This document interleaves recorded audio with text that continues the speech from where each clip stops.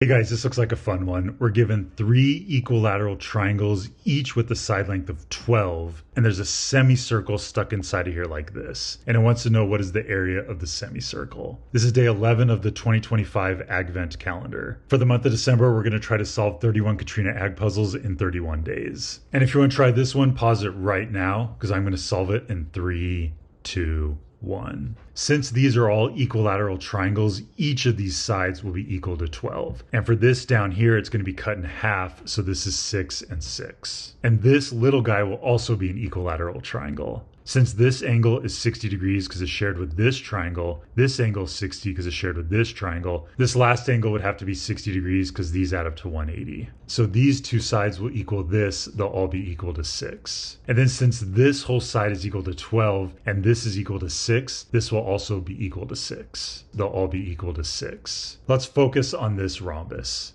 enhance. I don't think we're going to need all of this. Let's cut it in half and get rid of the bottom. And then from here, let's draw the radius perpendicular to this side and label it little r. And then this is getting hard to see. Let's dim the inside. And now we can write a formula for the area of the semicircle. It'll be equal to pi little r squared divided by 2. This looks important. Let's put a box around it. And we can move it down here. And now we can play around inside of here. Let's focus on this triangle. This angle is equal to 60 degrees because it's shared with the equilateral triangle. And then this angle will be equal to 30 degrees because they all need to add up to 180 degrees. In every single 30, 60, 90 triangle, the hypotenuse is always double the shortest side. And the side opposite the 60 degrees is always square root of 3 times the shortest side. Well, instead of multiplying the shortest side by the square root of 3 to get this side, we can divide this side by the square root of 3 to get the shortest side. So this shortest side will be equal to r divided by the square root of 3. And then from here to get the hypotenuse, we can double the shortest side side. So this hypotenuse would be equal to 2r divided by square root of 3. So now we have these three sides of this little triangle in terms of little r. And then from here we can draw this side perpendicular to this side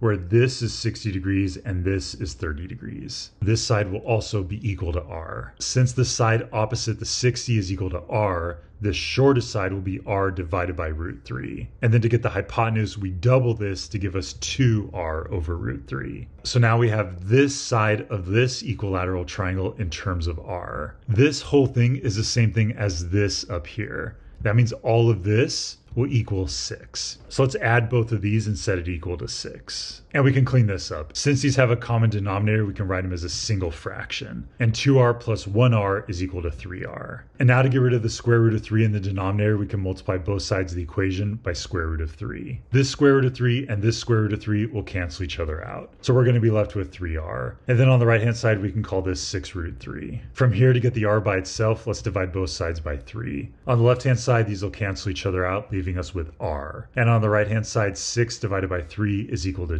2. So now we know that the r of our semicircle is equal to 2 root 3. From here, we can square both sides of the equation. On the left hand side, we'll have r squared. And on the right hand side, the square can go to each of these, giving us 2 squared root 3 squared. 2 squared is equal to 4, and root 3 squared is equal to 3. 4 times 3 is equal to 12, and now we have r squared. Going back to our area equation, let's move the r squared in front, and in the place of r squared, we can plug in 12. And 12 pi divided by 2 is equal to 6 pi. And that is the answer to our question. Let's give it a label of square units, and it's already got a box. In this given diagram, the area of this semicircle is equal to 6 pi square units. How exciting. And this is the question for day 12. We're given a semicircle inside of a square. We're told this is equal to 25, and this is the question mark. It's asking how long is this distance? This one looks interesting. Is there really enough information here? How exciting.